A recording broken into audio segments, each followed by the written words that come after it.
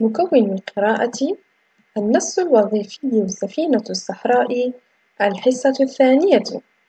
الأهداف قراءة النص قراءة معبرة وبطلاقة استخراج معلومات صريحة من النص. وضعية الانطلاق ما عنوان النص؟ عنوان النص هو سفينة الصحراء. عبر عن الصورة المرفقة للنص بجملة مفيدة.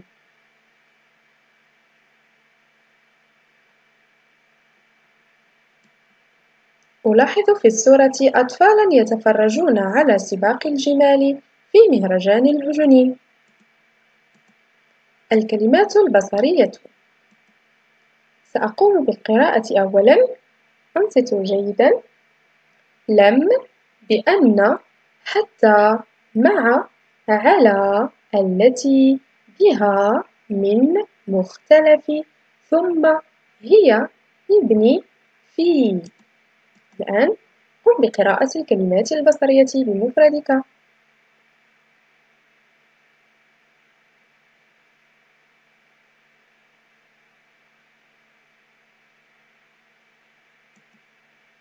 نص القراءة المشتركة. الجمل صبور. هذا جمل صبور. لا يتعب لا يعطش لا يجوع. ماؤه في بطنه وطعامه في سنامه. في الصحراء مسكنه وتحت حر الشمس مجلسه. وفي الواحات مورده. فلنردد النص معا. الجمل صبور. هذا جمل صبور. لا يتعب لا يعطش لا يجوع. ماؤه في بطنه وطعامه في سنامه. في الصحراء مسكنه وتحت حر الشمس مجلسه. وفي الواحات مورده. الآن قم بقراءة النص بشكل فردي.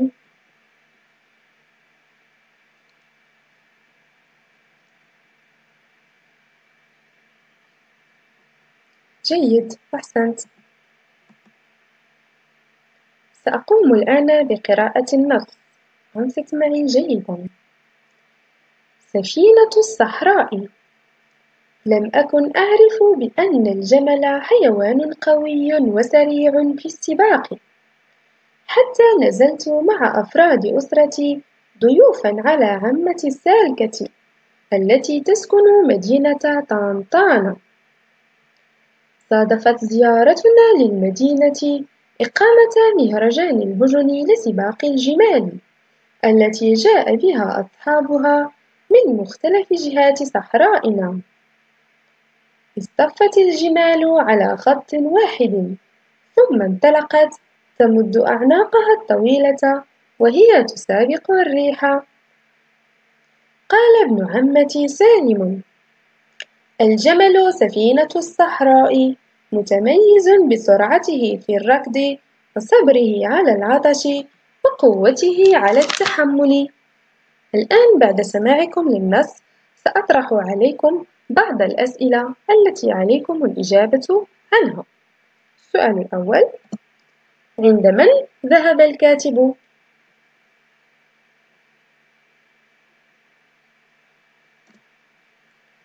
ذهب الكاتب عند عمته السالكة والسؤال الثاني أين تسكن عمته؟ الجواب الصحيح هو تسكن عمته في مدينة طنطانة ننتقل إلى السؤال الثالث ما المهرجان الذي حضره؟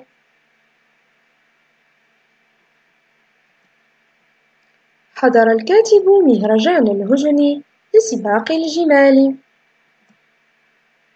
بما يتميز الجمل.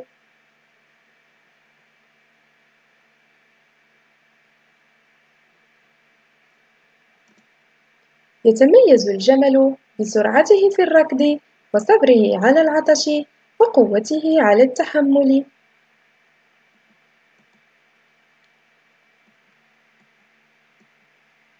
فلنقرأ النص سوية سفينة الصحراء. لم أكن أعرف بأن الجمل حيوان قوي وسريع في السباق. حتى نزلت مع أفراد أسرتي ضيوفا على عمتي السالكة التي تسكن مدينة طانطان صادفت زيارتنا للمدينة إقامة مهرجان الهجن لسباق الجمال التي جاء بها أصحابها من مختلف جهات صحرائنا. اصطفت الجمال على خط واحد ثم انطلقت تمد أعناقها الطويلة وهي تسابق الريح.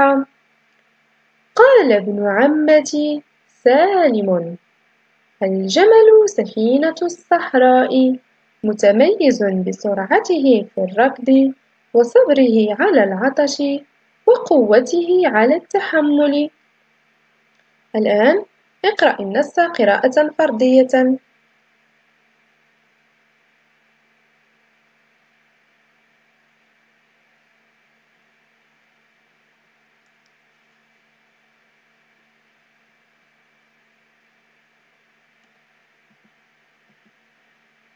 أنشطة الفهم. أستخرج من النص أضداد الكلمات التالية. إذا لدينا الكلمة علينا أن نستخرج من النص ضدها. الكلمة الأولى هي ضعيف. ما هو ضدها في النص؟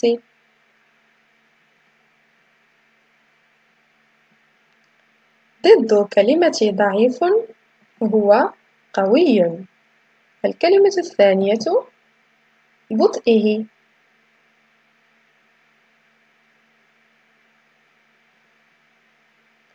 ضدها هو سرعته. الكلمة الثالثة القصيرة.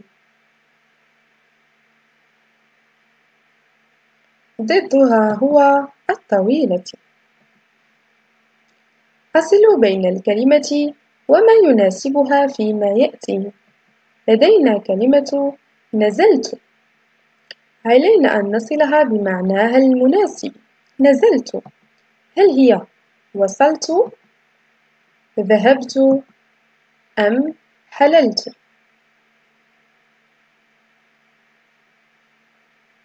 إذا نزلت هي حللت.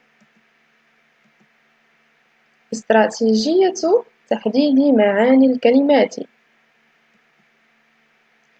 استراتيجية شبكة الكلمات المرتبطة بمجال الكلمة المراد تعمق فهمها. إذا لدينا صفات الجمل أو مجال صفات الجمل علينا أن نستخرج من النص صفات الجمل.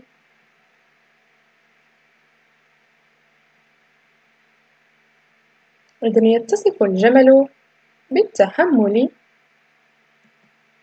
والقوة والصبر على الجوع والعطش والسرعة أيضا. استراتيجية الكلمة المراد فهمها. انطلقت. سنحدد نوعها وضدها ومرادفها ثم سنركبها في جملة. إذا نوع كلمة انطلقت هو فعل. ما هو ضدها؟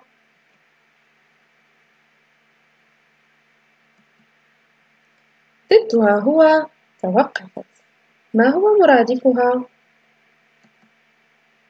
تحركت أو بدأت. الآن علينا تركيبها في جملة مفيدة.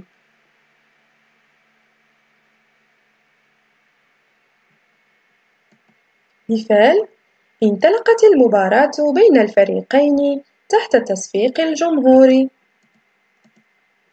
استراتيجية اشتقاق عائلة الكلمة لتدقيق معناها لدينا كلمة اصطفت علينا أن نشتق منها كلمات أخرى لكي ندقق معناها. فمن بين هذه الكلمات لدينا اصطفاف مصطف وصف تقويم ودعم هل سبق لك أن زرت مهرجانًا للجمال؟ نعم أم لا؟ إذا كان الجواب بنعم صف لنا ذلك.